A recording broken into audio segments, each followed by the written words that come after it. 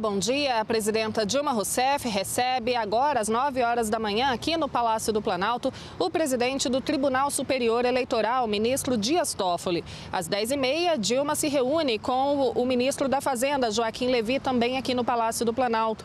Ao meio-dia, a presidenta embarca para Rio Branco, capital do Acre, onde deve chegar por volta de 1h15 da tarde pelo horário local, que é de duas horas a menos em relação a Brasília.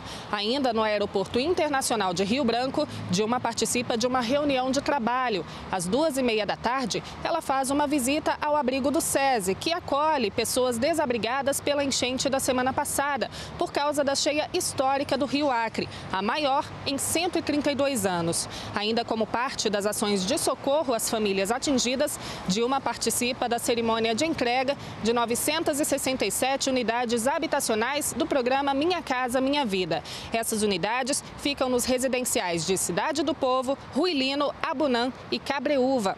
Logo em seguida, a presidenta retorna para Brasília. 10 e meia da noite é a previsão de chegar à capital. De Ana Gabriela Salles, direto do Planalto.